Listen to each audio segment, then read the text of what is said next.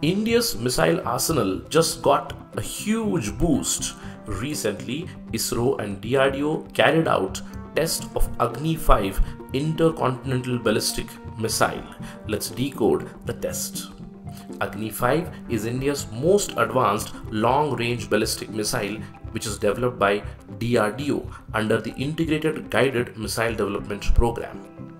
Agni 5 has a range over 5000 km placing it in the ICBM category that is intercontinental ballistic missile category. Although we call it IRBM intermediate range ballistic missile. By calling it IRBM India maintains its credible minimum deterrence posture without appearing overtly aggressive. The recent test was a trial by Strategic Forces Command validating its readiness for operational deployment. Agni 5 is a three stage solid fuel propulsion which has very high reliability. It has been deployed with canister based launch system, thus reducing launch time and also improving mobility. This has also been incorporated with the MIRV technology multiple independently targetable re-entry vehicle. This technology was tested earlier under mission Divyastra.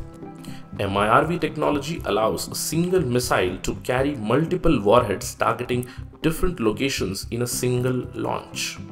Only select nations have operational MIRV technology. This test makes Agni 5 a crucial part of India's nuclear triad where we can deliver missiles from land, sea, air and water delivery systems.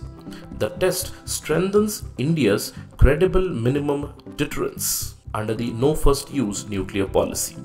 It also improves India's strategic posture vis-a-vis -vis major powers like China.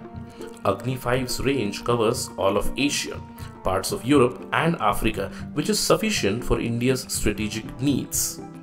Operationalizing Agni 5 through a canister enhances second strike capability, a very critical requirement for nuclear deterrence. So, Agni 5 is more than just a missile. It's India's message of security, sovereignty, and strategic balance for the entire world.